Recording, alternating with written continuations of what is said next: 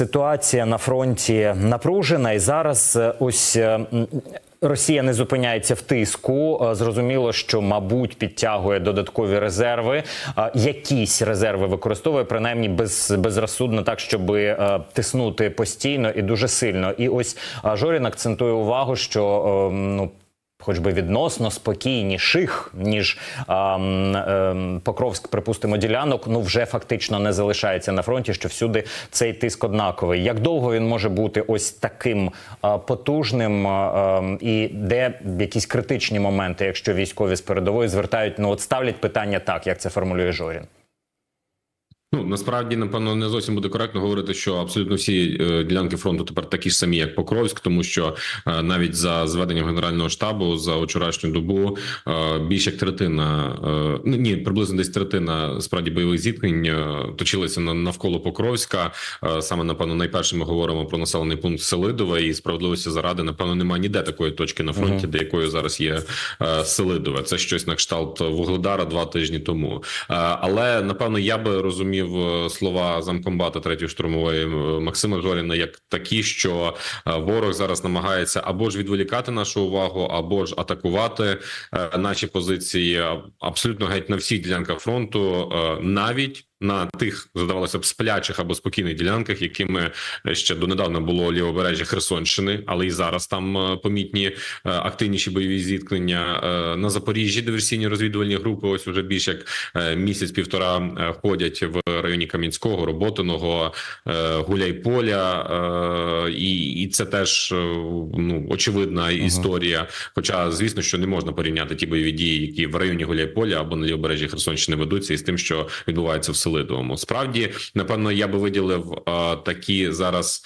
дві-три найгарячіші точки, Мгм. де е, точаться бої. Е, Це навіть чотири точки. Ось так я виділю. Чотири точки. Це Селидове на Покровському напрямку, е, місто, котре стримує просування окупантів в бік Покровська, і на Селидовому, ну направду, там шалений тиск окупантів. Вони на жаль зараз ми можемо відзначати про те, що вони вже прорвалися до меж самого міста. Бої ведуться абсолютно в всіх районах Селидового. Втрати там в росіян теж шалені. Е, Я спілкуюся з нацгвардійцями, зокрема там опорною по суті в обороні є бригадою 15-та бригада оперативно призначення Нацгвардії Карадах. І нацгвардійці стверджують, що за цей тиждень щоденні втрати росіян складають, е, наприклад, в понеділок це було е, ні, перепрошую, неділю. Це було 273 особи. Мгм. А в понеділок це вже було 307 осіб вбитими та пораненими. Це шалений насправді шалена кількість, і мене, от знаєте, дещо дивує так само е, те, наскільки можливо ми ну я використаю таке слово е, нікому не образу, але неадекватно багато говоримо про північно-корейські війська саме для внутрішнього глядача е, про ситуацію у порівнянні з тим, е, які бої у нас відбуваються, наприклад, у тому ж таки Селидовому. Якщо рахувати, що 307 бійців російської армії було ліквідовано за добу тільки в межах одного міста, е, то в порівнянні з 12 тисячами північно-корейських солдатів це одна сорокова за один день. Тобто, ну для розуміння е, масштабів, з чого роздувається катастрофа, те, коли роблять, наприклад, на зовнішнього глядача або споживача інформації, Кирило Буданов, наш президент, говорячи про північнокорейців, то ми прекрасно розуміємо. В нас же всередині країни. е, Я думаю, що українців ну не мало би лякати історія про північно-корейські війська, при тому, що ми маємо ось такі е, ось такі бої, в тому ж таки Селидовому. Так ось Селидове – це найгарячіша точка фронту. Курахівський напрямок, де противник використовує величезні механізовані штурми. Друга, напевно, за активністю. Е, Ну і третя та четверта це е, та Лиманський напрямки. Власне, е, ті напрямки, де зокрема присутні третя штурмова бригада, замкомбата, котрої ви замкомбрига, котрої ви цитували Максима Жоріна. Ну це це справді ось такі на чотири, напевно найбільш гарячі точки. Часів Яр та Торецьк дещо менш гарячі, але теж доволі тривожні ділянки на скажімо так, на полі бойового зіткнення. Василю, як е, ось ці зусилля вони не можуть бути нескінченними? Тобто у Росії все одно е, ну є якийсь запас людей. Цей потік його треба організовувати, їх треба довчати. Їх не можна просто схопити на вулиці, десь там, ну в Ростові, умовно кажучи, і відправити у Покровськ. Це інакше виглядає, інакше не, не буде жодного результату. І, мабуть, от такий темп він не може бути так само нескінченним. Е, є ну якась мета, яку бачите ви, яку бачать військові, куди прагне Росія, яка часова точка, і ну до якої може вистачити от таких сил?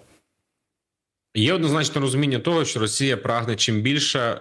Поки може а зараз uh -huh. період політичної турбулентності зрозуміло і в сполучених штатах. Ось до 5 листопада до їхніх виборів залишилося небагато. Невідомо скільки чи справді буде тривати цей політична турбулентність після 5 листопада, чи там уже нарешті ми почуємо про більш сміливі кроки. Адже ви подивіться станом на сьогодні, Сполучені Штати навіть не визнають по суті сповна небезпеку долучення північно-корейських військ до війни з Україною. А хоча насправді це дуже велика загроза. Це загроза для е, всього світу в усвідомленні розумінні того, що українська війна вона і так давно вийшла вже за межі регіонального, скажімо так, конфлікту. А зараз і тим паче вже друга ядерна країна долучається. Друга ядерна країна долучається до війни з Україною. І от я спілкувався з бійцями. Е, вони якби жартують з притаманним е, нам, українцям, таким ну оптимізмом і знаєте, дещо іронією, але це було б смішно, якби було не з нами, що Україна не ядерна країна вже починає війну з другою, ну продовжує війну з другою е, ядерною, по суті, що країною КНДР.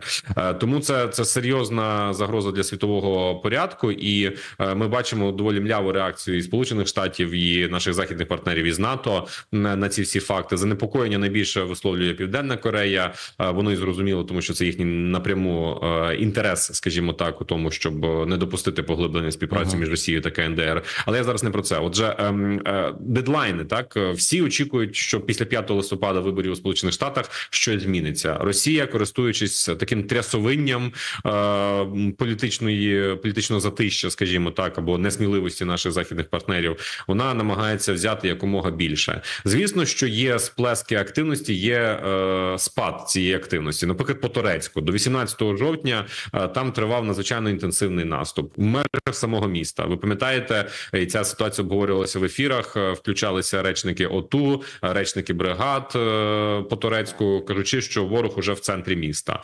Врешті-решт, ворог виснажив свій е, свій запас можливостей, uh і ось уже ну рівно тиждень в Турецьку не такої інтенсивності бої, як були ще тиждень тому. Тобто, безсумнівно, є певні е, такі періоди, коли росіяни можуть більше більше ресурсів і резервів направляють на ту чи іншу локацію. А є періоди, коли вони виснажуються і потребують е, перегрупування, як то, наприклад, по турецьку, як то, наприклад, на напрямку е, Покровська, це зараз відбувається на Селидове. За тими даними, які в мене є, були кинуті певні е, резерви із північно-покровського напрямку, додаткові -huh. для того, щоб підтримати темп і для того, щоб все ж таки зламати оборону цього населеного пункту. Як довго це буде триватиме? Гадки немає. Я думаю, що ніхто у світі не дасть вам відповіді на це питання.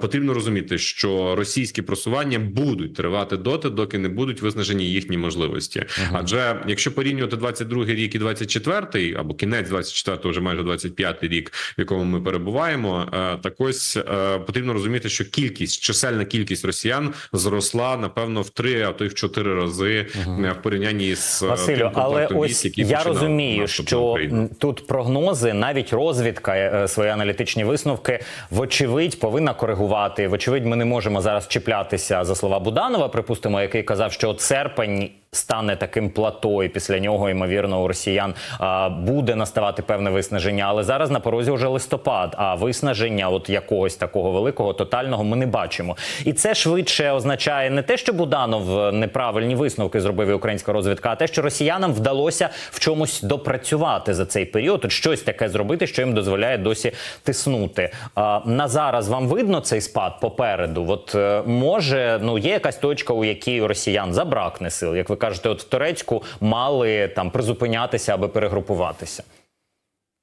Але це не означає, що в Турецьку вони не відновлять такого наступу. Uh -huh. Зараз все залежить від трьох складових. Перша складова це е, стійкість українського тилу. Друга складова е, дії, звісно, що противника, який, як бачимо, він отримує додаткові ресурси від своїх партнерів, зокрема від Ірану та Північної Кореї. І третє, що отримаємо ми від від наших західних партнерів. Ну і напевно, четвертий фактор того, як можна наблизити цей час цю точку, яку не видно одразу відповідаючи прямо на ваше uh -huh. не видно ці тієї точки. Мгм. Її важко прорахувати, її неможливо. Ну принаймні з моїм наявним комплектом знань е, прорахувати. Як бачите, навіть е, розвідник, е, головний наш український Кирило Буданов, володіючи усім наявним інструментарієм, він теж е, здатний помилятися. Е, І відтак, е, чотири фактори. Четвертий це е, якість військового управління е, Мгм. і якість військової підготовки українських військ. От від цих чотирьох факторів буде залежати цей час наближення тієї точки, коли росіяни можуть виснажитися. Зараз насправді дуже багато. Напевно, з цих чотирьох пунктів найбільше залежить від е, постачання е, нам західного озброєння, від можливостей ударів е, цим західним озброєнням, зокрема і по території Російської Федерації, і загалом в тил російських військ для того, щоб знищувати цю піхоту. Ми бачимо, що зараз відбувається певний злам підтримки України на користь того, аби наша оборонка краще працювала, аби наша оборонка забезпечувала більше нас можливостями, щоб знищувати противника. Ми точно розуміємо, от я так скажу, ми точно розуміємо, що Росія виснажується як така собі країна м, з можливостями бронетанкових штурмів, Мгм. навіть попри те, що зараз на Корахівському напрямку йдуть е, великі, здавалося б, накати е, ворожої техніки, але це не має сенсу, якщо FPV-дрони, міномети і артилерія зупиняє ще на підступах цю е, техніку. Найбільшу проблему зараз складає. Ну звісно, що авіація. Я не буду там в соти повторюватися. Мгм. Це з ефіру до ефіру, напевно, всі говорять. І друга проблема це піхота. Нам треба розуміти, що росіяни далі будуть атакувати впродовж наступного року і 26-му, напевно, е, якщо триватиме така активна фаза війни, вони будуть атакувати піхотою. Нам треба шукати ключі до того, щоб цю піхоту знищувати. Цим ключем є безпілотні системи, ті, що в повітрі, і ті, що на землі, тобто роботокомплекси, котрі здатні без участі піхотинців знищувати величезну кількість піхоти. Тому що станом на зараз ми в програшному становищі в сенсі того, що коли відбувається фізичний контакт ворожої піхоти з нашою, ворожа, на жаль, в силу своєї кількості величезної, здатна перемагати. Важливі речі, е, але нам треба відповідати на щось. Е, Розробка інвестицій, які тепер е, впроваджуються у оборонно-промисловому комплексі України, це все ж таки такий приціл на трішки віддалене майбутнє, не наступного місяця, не за пару місяців, а все ж таки за рік, півтора-два. Це може приносити результати. Чим же ми можемо відповідати прямо зараз? Рубежі часові близькі. Американські вибори буквально за тиждень будуть відбуватися трішечки більше тиждень і кілька днів. А і вочевидь, Росія із усім цим кульбітом північнокорейським розраховувала зокрема і на цей період. І от прямо тепер відбувається саме це. Перші підрозділи військових із КНДР, які пройшли вишкіл на східних російських полігонах, уже прибули в зону бойових дій російсько-української війни. Зокрема, 23 жовтня їхня поява зафіксована у Курській області Російської Федерації. Про це повідомляє головне управління розвідки Міністерства оборони України. Е, Скажіть, будь ласка, а де ну за вашою оцінкою різні варіанти вже висловлювалися, що можуть бути ну як інженерні війська, можуть копати там траншеї, можуть навчатися просто, а не е, насправді підсилювати е, російську передову. Але це достатньо велика кількість людей, от яка називається. Якщо це 10-12 тисяч, це одномоментно може бути відчутно. Навіть якщо вони будуть з лопатами, але ті росіяни, які були з лопатами, підуть е, в рукопашну, це мабуть може теж тиснути на фронт. Як ви гадаєте, як Росія наймовірніше буде їх використовувати? Чи можуть вони опинитися не тільки в Курській області, але і на тимчасово окупованих українських територіях? Станом на зараз найбільш е, ймовірним варіантом використання північно-корейських військ є участь їхня в е, межах так званої контртерористичної операції в е, Курській області, тому що це з точки зору прикриття, як я так скажу, розумію з міжнародного права. Це найбільш вигідний сценарій для Росії. Не просто так Росія їх переодягає в свою форму, дає документи бурятів та якутів, але ще й до всього цього буде використовувати їх на території Курщини для того, щоб давати, ну скажімо так, е, грати в піддавки із нашими західними партнерами, котрі можуть можуть, я так припущу, можуть використати для загалу е, аргумент е, того, що мовляв, ну. Sorry, Україна, ми вас не просили е, заходити на Курщину і починати курську операцію. Росія вправі захищатися так, як вона вважає за потрібне.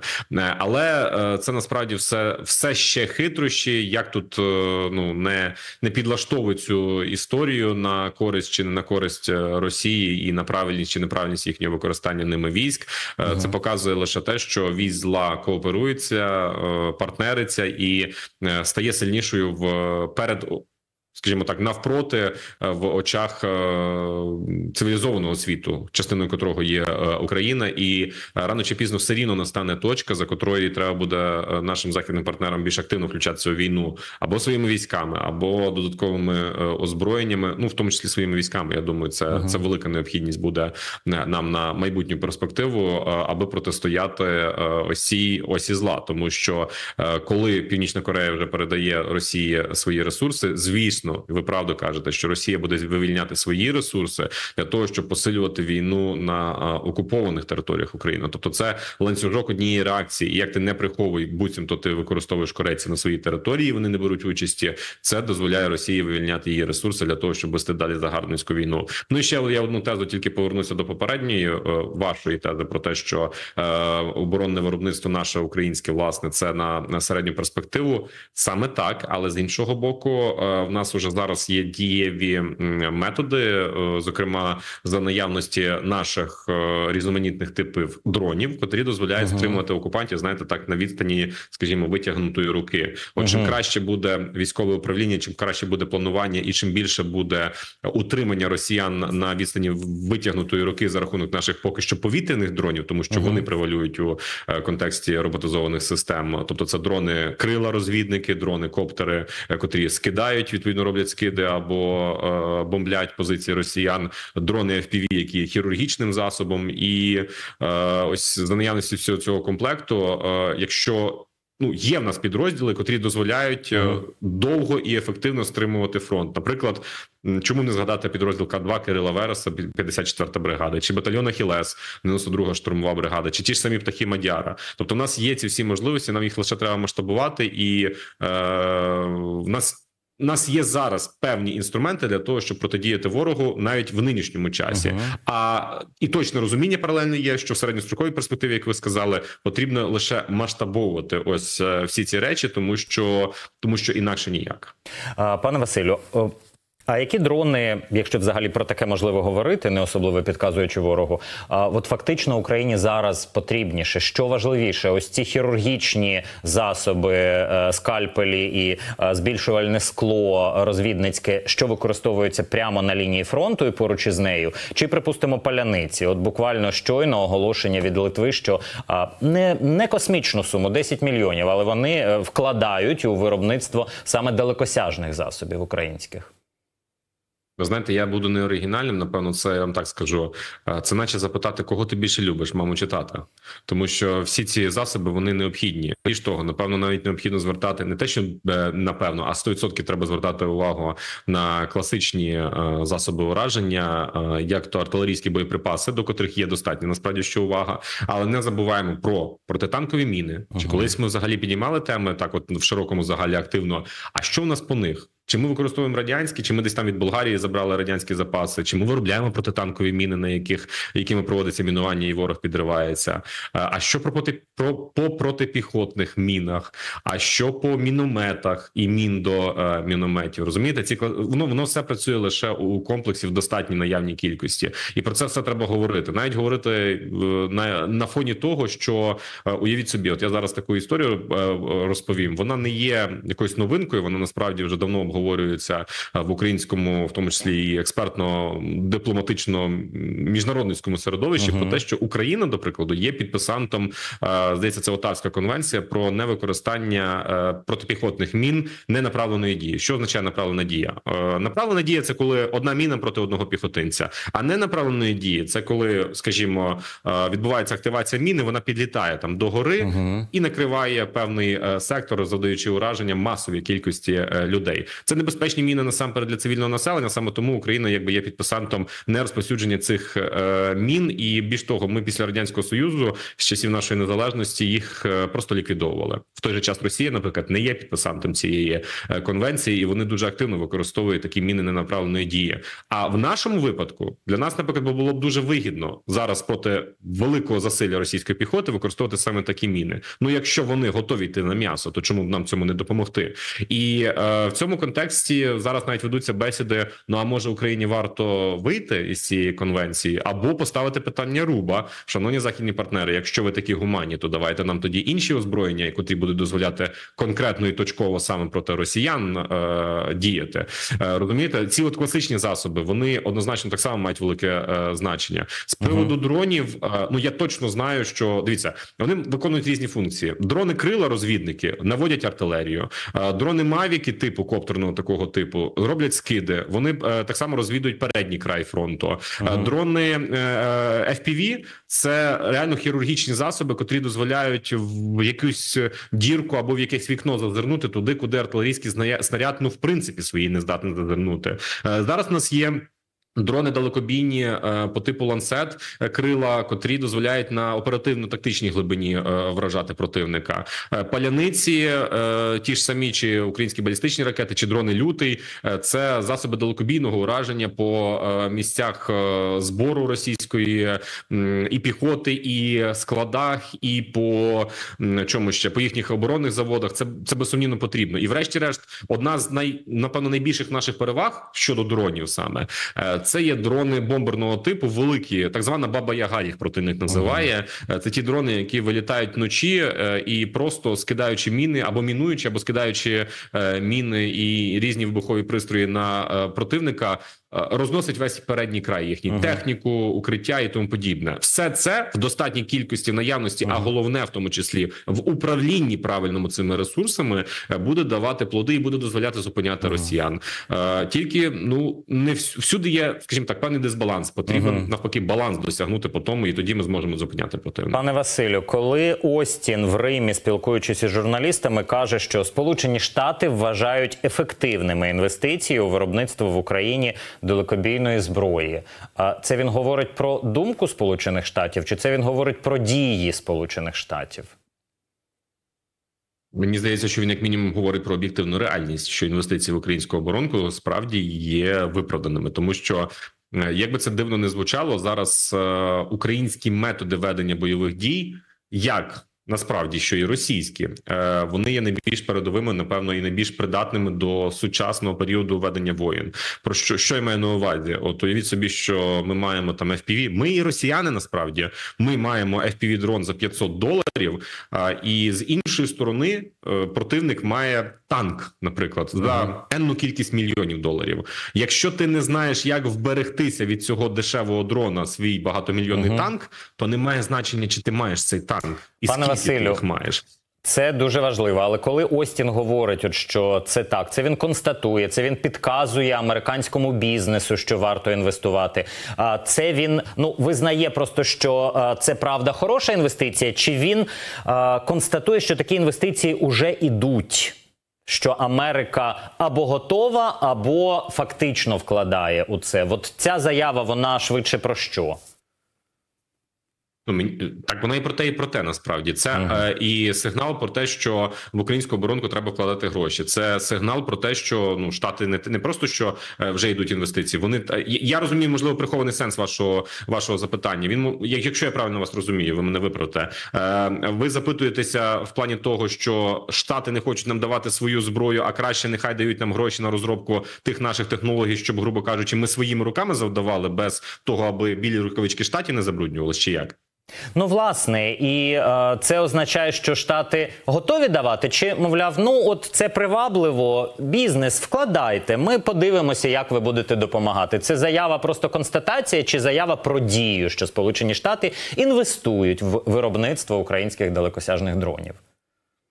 Е, Ну, якщо вже було оголошено про 800 мільйонів е, доларів, котрі були виділені на таке виробництво, то це однозначно, що це вже є інвестиція в е, такі озброєння. Інвестують не лише Сполучені Штати, інвестує Данія, інвестує Швеція, Норвегія, Велика Британія інвестує. Тобто, у нас є чітке розуміння, що зараз наша оборонка виробляє десь. Працює на 30% своїх можливостей, тому що вона наша оборонка найкраща, напевно, зараз в світі, адже вона може е, швидко перевіряти всі е, робочі рішення безпосередньо на полі бою і доводити їх uh -huh. до до ефективності, і вона постійно розвивається. І саме те, що я говорив про умови сучасної реалістичної війни, ми найкраще до них пристосовані. Наші uh -huh. партнери навіть гадки не мають. Я я був нещодавно, скажу так, на одному з виробництв українських дронів, де є різного типу дрони.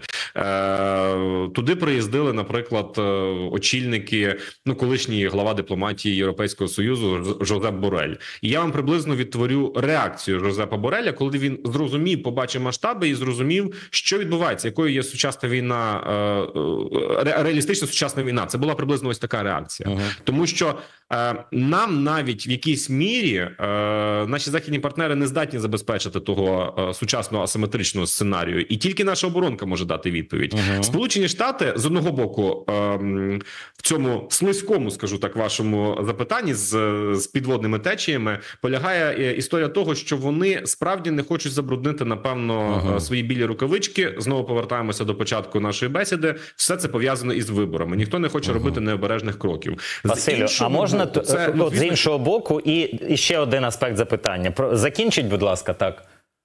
Е, так, от з іншого боку, тут ну насправді це надзвичайно інфантильно, звісно, звучить е, чути від Остіна, коли він каже, е, що ну ви знаєте, напевно, краще Україні завдавати своїми дронами ударів, тому що в США немає грошей на те, аби забезпечити Україну зброєю. Ви серйозно більше як 800 мільярдів оборонного бюджету Сполучених Штатів, мільярди сотні мільярдів завжди вкладалися в протидію гібридними способами Російській Федерації. А тут, коли Російська Федерація і її військова міць знищується на полі бою в Україні, вас раптом не стало грошей на це. Ну це виглядає смішно, але це все виключно. Політична історія, uh -huh. і ну вони, скажімо так, лавірують так, як можуть, і заявами, і діями. Але те, що вони вкладаються, зокрема, як і інші задні наші західні партнери в е, гонку саме е, в озброєння України uh -huh. за рахунок внутрішнього власного ВПК, uh -huh. ну це мені здається беззаперечний факт. Василю, і дуже мало часу лишилося, але обставини ж все ж таки змінюються, і навіть цими білими рукавичками чи руками у білих рукавичках іноді а, доводиться братися за не знаю, якісь важелі замаслені такі е, задимлені війною або а, змащені солідно мастилом військового виробництва. Якщо військові північної Кореї вступлять у російсько-українську війну, Сполучені Штати Америки повинні розглянути можливість прямих воєнних дій. Про це заявив голова комітету із розвідки Палати представників. Тернер. За його словами, вступ КНДР у війну має стати червоною лінією для США та НАТО. І буквально в такому бліц-режимі чи Сполучені Штати побачать участь корейських військових, якщо вони в російській формі і а, е, нібито е, із е, там далеких далекосхідних автономій Російської Федерації, і що тоді буде змінюватися? От зараз ми бачимо, що навіть в нинішньому режимі ситуація уже змінює позицію Південної Кореї президент Південної Кореї каже, що вони готові вже продавати зброю Україні. Що на що у них законодавча заборона, але вони готові це змінити. Що іще може змінитися? Америка буде змінювати позицію. Я думаю, що буде е, в неї просто іншого виходу не буде. Ну тому що як не крути, навіть е, відкрита заява Південної Кореї, е, котра є союзником Сполучених Штатів, не дозволить їм опинитися за бортом, не дозволить їм далі, знаєте, наче та от як є ці смайлик е, мавпочки, котра не чую, не бачу, не не говорю. Ну не не можна буде е, так діяти сполученим штатам. Вони рано чи пізно змушені будуть вступити в цю війну більш активно. Питання лише і ми, ми навіть чуємо зараз голоси не лише від сполучених штатів. Габріеліс Ландсберг із міністерства закордонних справ Литви говорить про те, що потрібно актуалізувати ось це питання, яке свого часу підіймав Еммануель Макрон, президент Франції, з приводу направлення військ до України. Але я на 99,9% переконаний, що це навряд чи йтиметься про е, війська Сполучених Штатів Америки. До прикладу, я би скоріше думаю, що ми можемо розраховувати на війська наших е, е, континентальних партнерів із Європи в якійсь осяжній перспективі, аніж на Сполучені Штати. Від Сполучених Штатів нам потрібна зброя, нам потрібні джазм на F-16, і нам потрібен дозвіл на запуски джазмів ракет до F-16, котрі зенітні ракети, щоб збивати ворожу авіацію, і на атакамси, і перестати ну говорити ось ці дурниці, що воно ніяк не вплине на поле бою. Серйозно, купа пунктів управління є на території Російської Федерації в досяжній перспективі хайма хаймарсів ну, і атакамсів. А вони кажуть, що ніяк не вплине. Ну я думаю, що це, це станеться. Тільки треба пережити ті важкі часи американських виборів. Дякую, Василю, за сьогоднішню розмову. Військовий глядач Василь Пихньо на прямому зв'язку зі студією Апостроф ТІВІ.